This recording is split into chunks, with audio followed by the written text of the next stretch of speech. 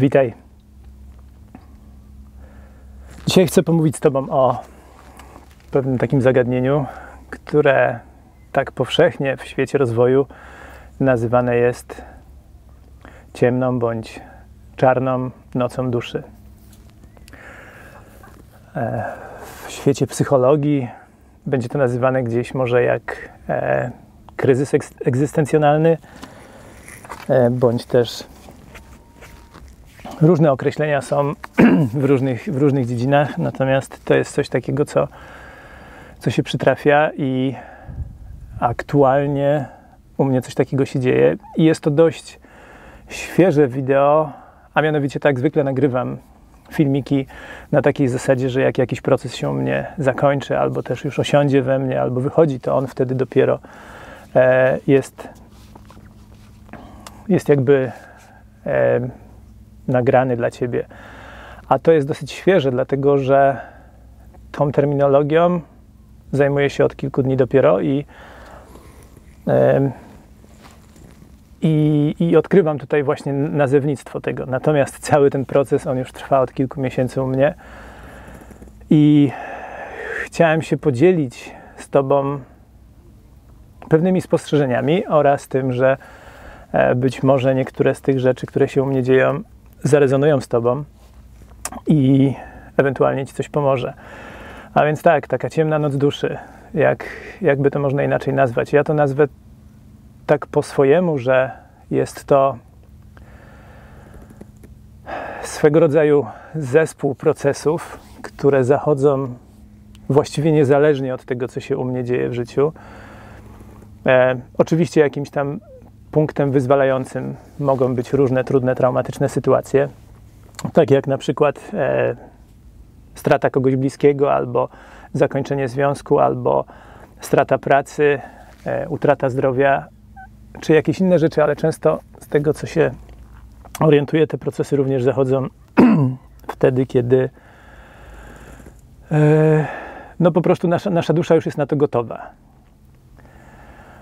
E, Słyszałem o różnych i czytałem o różnych e, etapach w życiu, że to się pojawia gdzieś w okolicach 33 roku życia, gdzieś to się pojawia w okolicach 50 roku życia. Natomiast no, z tego, co na przykład znam z tych znanych osób, to Eckhart Tolle, to miało miejsce krótko przed 30.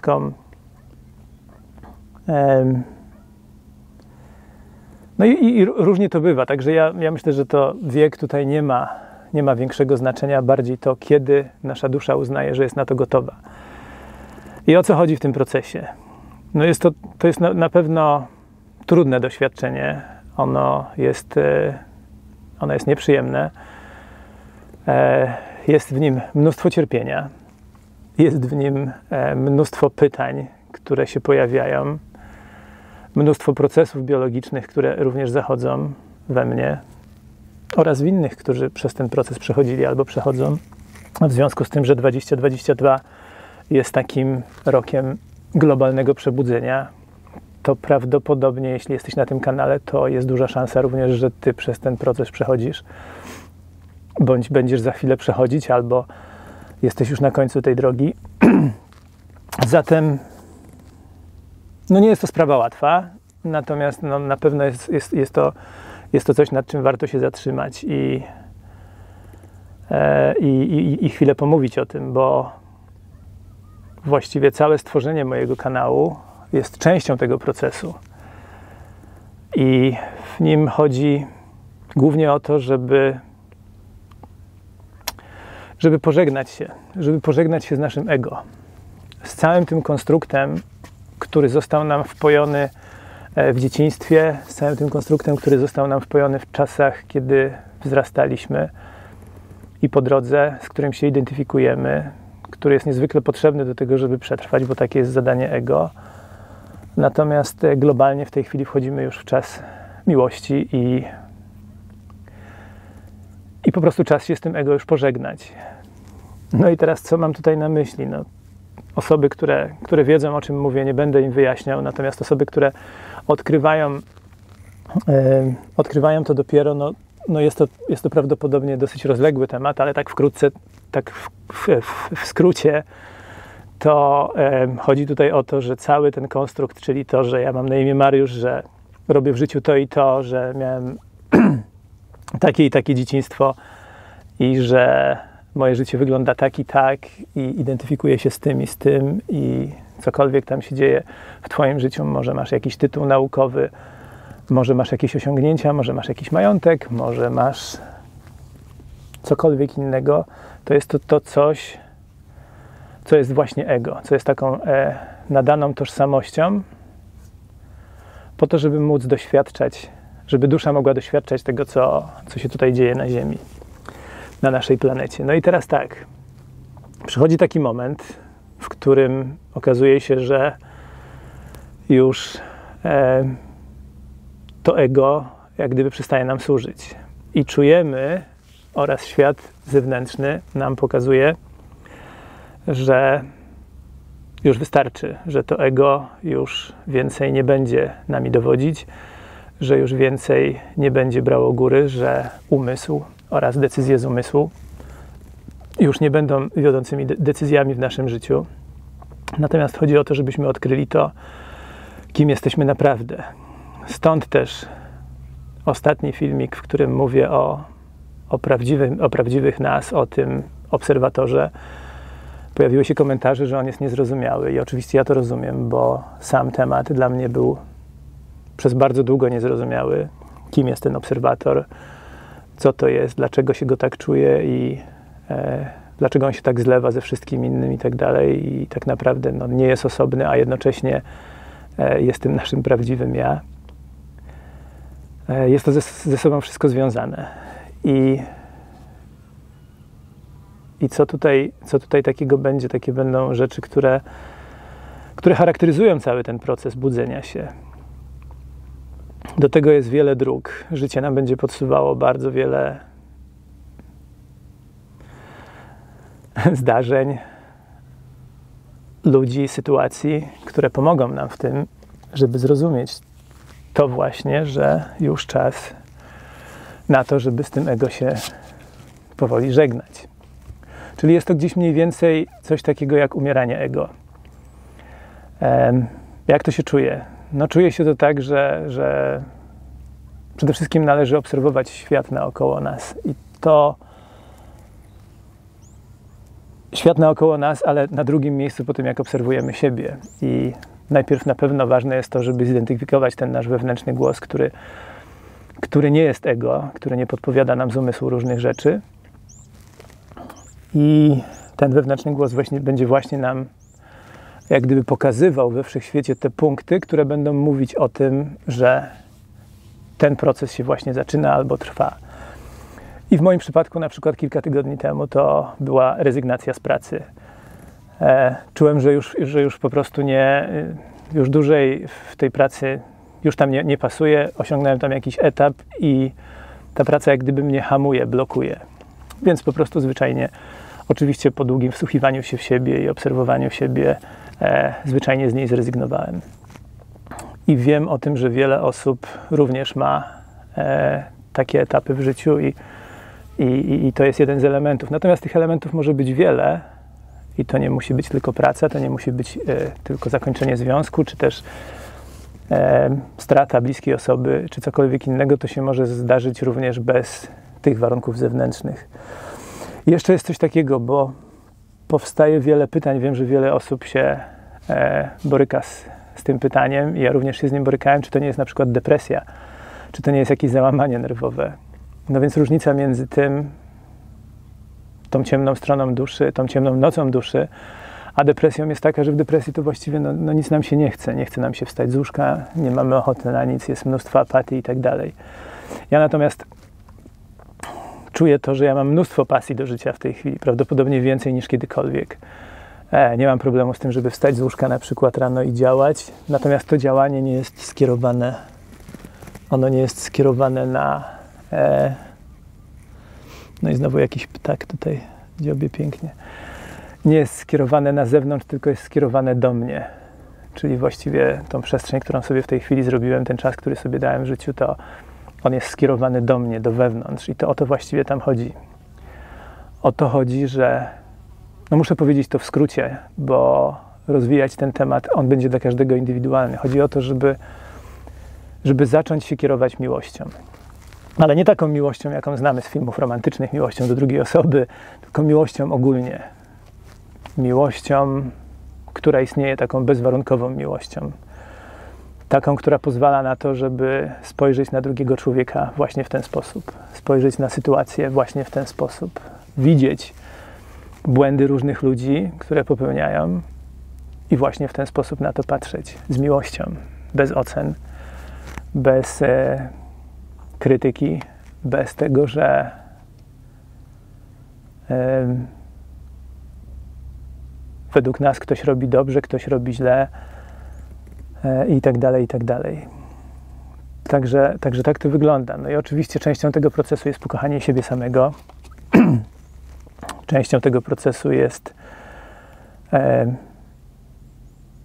otworzenie się na, na to, żeby właśnie Stwórca, istnienie, w jakiejkolwiek religii jesteś, w cokolwiek wierzysz, temat jest wspólny. Tutaj odsyłam do filmu e, pana Jarka Gibasa, który ostatnio nagrał, nagrał filmik na temat, e, on ma taką serię Niewidzialne książki i, i nagrał ten temat książki o religiach, która w 2011 roku została wydana, a jest zakazana na przykład w naszym kraju.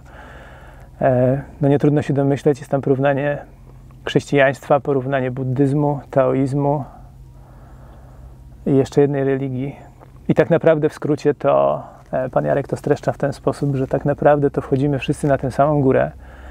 W oświeceniu chodzi wszystkim o to samo, natomiast są różne drogi, a w związku z tym, że z każdej strony tej góry e, inna religia wchodzi, także nie widzi tych, którzy są z drugiej strony góry i E, i, i uważa, że ich często tak jest, że ich e, droga jest jedyna i słuszna. To jest oczywiście, co jest oczywiście nieprawdą, no ale ocenę tego już zostawiam Tobie. I co? W całym tym procesie ciemnej strony duszy, ciemnej nocy duszy, chodzi o to, że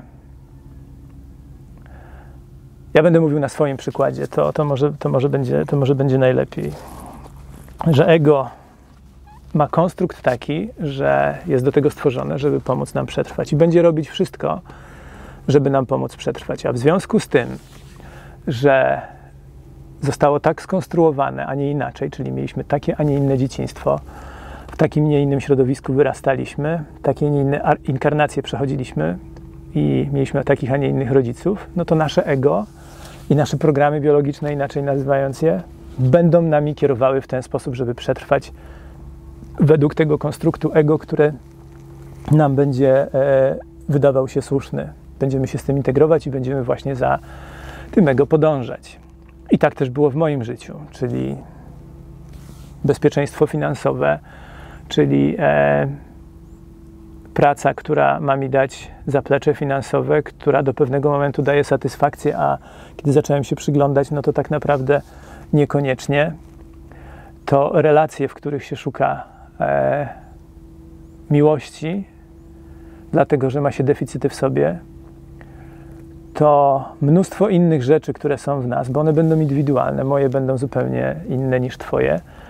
E, I w związku z tym, że to jego jest tak silne, że ma nas chronić, że ma nam pozwolić z jednej strony paradoksalnie na przetrwanie według siebie najlepsze, z drugiej strony nie pozwala nam na, na autentyczność, na to, żebyśmy byli tym, kim naprawdę jesteśmy.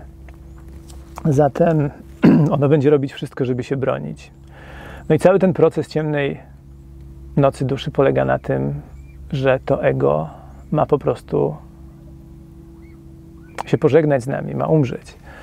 Innymi słowy. I ono się będzie bronić z całych sił i ono się broni. Ja muszę to potwierdzić, że, że niektóre procesy są bardzo trudne. Na przykład moje budzenie się e, regularne w nocy, jakieś koszmary, w których, w których widzę jakieś naprawdę najciemniejsze, najstraszniejsze strony życia, których e, no, nie chciałbym doświadczyć, które, które mówią o jakichś bardzo trudnych momentach w życiu ludzi. E, różne takie rzeczy i jak, jak e, edukuję się w tym temacie, to to jest, to jest takie bardzo wspólne z wieloma e, osobami, które przez ten proces przechodzą bądź przeszły. No i o co tutaj chodzi? Ja to tak widzę na ten moment, a już jestem w tym procesie od kilku miesięcy, o ile nie od kilku lat. To chodzi o to, żebyśmy przestali, a ja to robiłem przez większość swojego życia, żebyśmy przestali uciekać od tych naszych emocji, które są na e, mapie świadomości najniżej, czyli od wstydu, od strachu, od apatii. Sposobów ucieczek jest mnóstwo, jak pewnie już wiesz, czyli to może być uciekanie w pracę, uciekanie w nałogi, uciekanie w seks, uciekanie w używki, alkohol e, i te wszystkie inne rzeczy. Nawet uciekanie w pracę to jest również, to, jest również coś takiego. To, to, to, to, to, to, wszystko jest, to wszystko jest to samo. Oczywiście nie ma tutaj nic złego w pracy. Praca jest świetna, jest wspaniała, o ile nam daje satysfakcję i kreuje coś.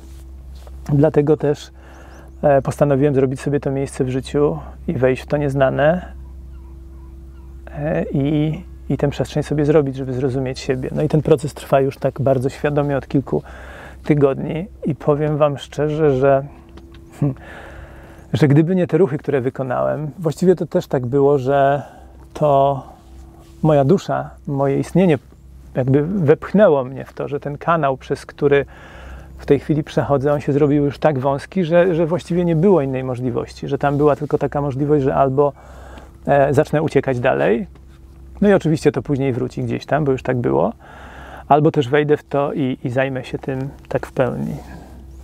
No i czuję, że, że jestem na, na takiej właściwej drodze, a przynajmniej na takiej najbardziej właściwej, jakiej świadomie jestem przez całe swoje życie i, i czuję się to świetnie, pomimo całej tej trudności. No i teraz tak. E, na pewno jest to, jest to, jest to, jest dużo cierpienia w tym, wejścia w te wszystkie swoje trudne emocje i, i, i tak dalej. To jest, e, to jest tam, to jest tam, nie jest to łatwe. Natomiast nie musi to być niełatwe, to, to też zależy od nas. A w związku z tym, że nie ma na to szkoły, a ludzie, którzy przez to przeszli, część z nich nie chce się tym dzielić, część z nich uważa to za tak intymne doznanie i tak intymne doświadczenie, że nie, nie widzi potrzeby, żeby się tym dzielić. Może nawet tego nawet nie odnotowali. Ta zmiana została w nich i, oni się tym cieszą. Natomiast tak, chodzi tam o to, żeby jak najgłębiej, aż do samego dna wejść i sięgnąć do tych trudnych emocji, do tych trudnych chwil, do tego, przed czym przez całe życie uciekałem. Do tych rzeczy, których się całe życie wstydziłem, do tego, czego się wstydziłem, co zrobiłem, co zrobiłem innym, co zrobiłem sobie, czego sobie nie wybaczyłem, e, co też inni mi zrobili i czego ja im nie mogę wybaczyć, i tak dalej, i tak dalej. Czyli te wszystkie najtrudniejsze, najciemniejsze, najbardziej smoliste rzeczy, które się, się w życiu wydarzyły ale też nie tylko w życiu, bo to może być okres prenatalny, to może być okres niemowlęcy, a kto wie, może nawet poprzednie wcielenia, które niesiemy po swoich przodkach.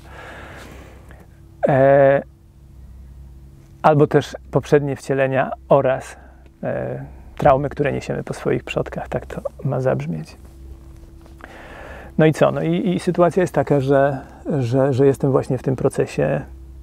Mam to szczęście, że, że mam przy sobie osoby, które przez ten proces przeszły mam z nimi kontakt i tutaj też jest dobrze mieć, nawet jeśli nie masz przy sobie osoby, bo o uczucie osamotnienia w tym wszystkim, takiego bycia e, w swoim świecie, tylko takiego konstruktu, w którym świat zewnętrzny przestaje cieszyć. Cokolwiek nie zrobię, cokolwiek nie kupię, cokolwiek e, chcę doświadczyć, to już nie cieszy, to przestaje cieszyć.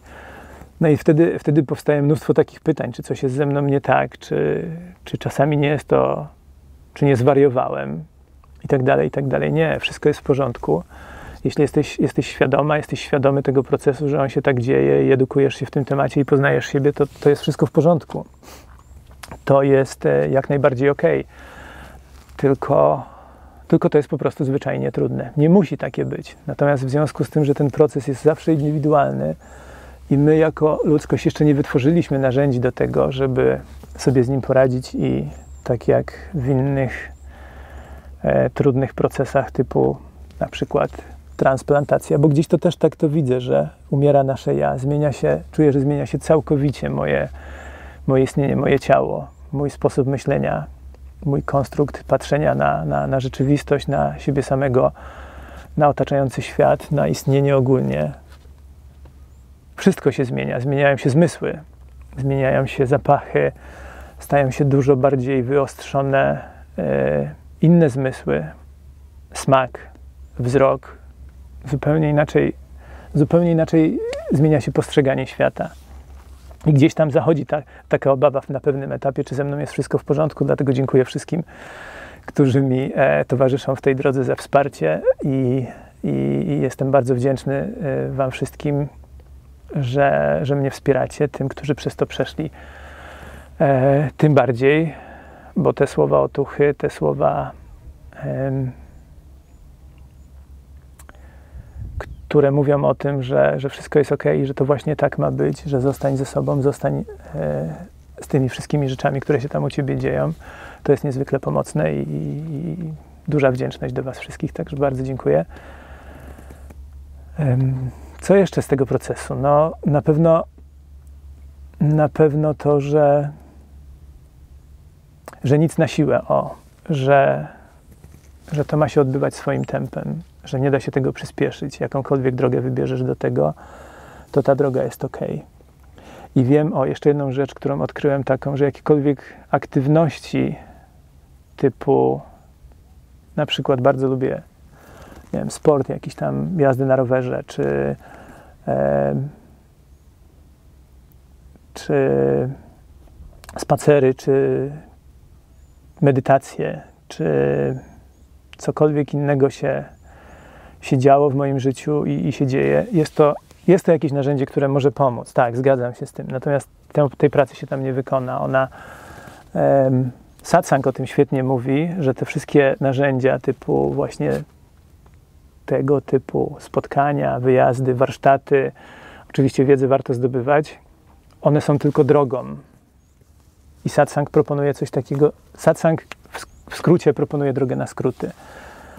I ja nie mówię, że jestem zwolennikiem tej, tej metody, natomiast no, w niej coś jest, bo rzeczywiście jak się tam wejdzie w to i postudiuje i poczuje się to, no to można, można sobie zaoszczędzić sporo życia i energii i, i wiele rzeczy, żeby bezpośrednio dotrzeć do tego, kim jest ten nasz obserwator, kim jest nasze prawdziwe istnienie, czym jest. Moment, w którym mówimy o nim już, no to już, już to przestaje być to, tym takie, jakie, jakie jest. Więc warto też się z tym zapoznać. Taka moja sugestia. Ty możesz sobie wybrać swoją drogę i, i to może być, nie wiem, cokolwiek. To może być wspinaczka wysokogórska, czy e, uprawianie jakichkolwiek innych dziedzin życia, czy rozwoju duchowego. To już jest indywidualna sprawa. Każdego dowolna droga. Natomiast ważne jest w tym to, żeby zidentyfikować te ciemne strony w sobie i je w pełni przyjąć, zaakceptować, że one są częścią całości, pomimo całego tego E, zamieszania, całego tego chaosu, który się pojawia, poczucia bezsilności, poczucia bezradności, bez sensu całkowitego. Wszystko, co, co znałem i wiedziałem do tej pory o, o, o świecie, o, o życiu, o tym, kim jestem, kim są inni, kim jest świat, nagle ulega rekonstrukcji i już nie jest takie samo. No i to wrażenie takie, że nie wiem tak naprawdę dokąd zmierzam, czyli nie wiem, co będzie za chwilę to wejście w nieznane. No i najważniejsza rzecz to wiara w to, że e, właśnie tam, gdzie zmierzamy, właśnie tam jest to, na co czekamy. To, czego poszukiwaliśmy przez całe życie, przed czym uciekaliśmy. I z tego, co te osoby, które tam już są, opisują, tam już to wygląda zupełnie inaczej. Tam już e, właśnie nie ma ocen. Tam już w tej całej mazi, którą jest to sklepienie nad nami, gdzie się w tym błocie e, taplamy, to w całej tej mazi, którą jest zalepiony cała ta kopuła, czyli, czy ta kapsuła, w której siedzimy, mamy niewielki czasami pole manewru, niewielki ruch, jest tam ciemno, czarno, piwnica, to tam się zaczynają pomału pojawiać zupełnie paradoksalnie pęknięcia i zaczyna przez nie przechodzić światło.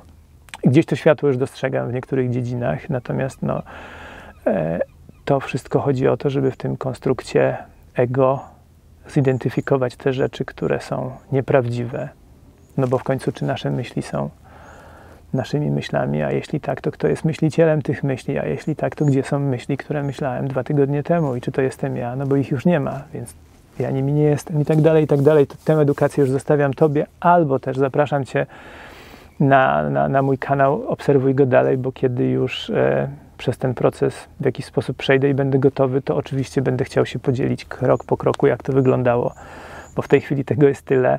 Tam idzie mnóstwo, ogromna, ogromna masa energii do tego procesu. To jest coś takiego, że pomimo tego, że działania takiego w życiu u mnie jest niewiele, takiego na zewnątrz, to tego działania w środku jest bardzo dużo, więc tam idą ogromne, ogromne nakłady energii i rzeczywiście potrzeba do tego dużo, dużo, dużo wypoczynku, dużo, dużo ukochania siebie, dużo samoświadomości, czyli tak wszystkich tych rzeczy, odżywiania się, dbania o ruch, dbania o, o zostanie na, w naturze, bo, bo jednak to połączenie nam pomaga i będzie pomagać. I, te wszystkie elementy, które nam służą, a ty już wiesz najlepiej, co ci służy, a jeśli nie, no to przyjemnego odkrywania i doświadczenia tego.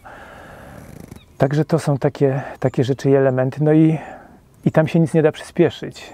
Nie da się nic przyspieszyć. Pojawia się mnóstwo obaw, lęków, strachów, e, poczuć win i, i takich innych rzeczy. No i po prostu trzeba tego doświadczyć. Trzeba sobie to wszystko przyjąć do siebie, że jest to częścią mnie i, i wierzyć w to, że wtedy, kiedy jest najciemniej, ciemniej, najbardziej cuchnie, najbardziej e, jest maziowato i czasami nie ma możliwości ruchu, a takie momenty też się zdarzają, to żeby po prostu tego doświadczyć. To, przed czym uciekałem przez całe życie, to, gdzie widzę tu już teraz tak wyraźnie osoby, które przed tym uciekają w tej chwili, w obecnej chwili. E, no jest to na pewno piękne doświadczenie i prowadzi do, do, do czegoś pięknego. I co będzie dalej, to na pewno będę informować na ten temat. Także jeśli, jeśli, e, jeśli nie ma przez kilka dni żadnego mojego filmiku, to wtedy bądź pewien, bądź pewna, że wszystko jest u mnie w porządku. Natomiast no, tych rzeczy tam się dzieje dosyć dużo. tyle, że do tej pory się jeszcze nigdy tyle nie działo. Także, także tam jest, e, jest spora, e, spora zmiana, spora przemiana. Jeśli temat, mój kanał, ja z Tobą rezonuję, zapraszam Cię, jeśli jesteś tu po raz pierwszy i dopiero trafiłeś na ten temat, e, zasubskrybuj mój kanał. Jeśli filmik się podobał, daj łapkę w górę. No i tyle, no i tyle na dzisiaj. Pozdrawiam serdecznie. Przysyłam z mojej strony dużo miłości do każdego. Jeśli jesteś w najciemniejszej dupie, jakiej tylko może być, to pamiętaj, nie jesteś sama, nie jesteś sam. Ja Ciebie kocham, wszechświat Ciebie kocha. Wszystko jest tak, jak być powinno. I tak naprawdę to mnóstwo troski, mnóstwo troski, a nie zamartwiania się. Także wszystkiego dobrego. Pozdrawiam serdecznie i do następnego razu. Hej.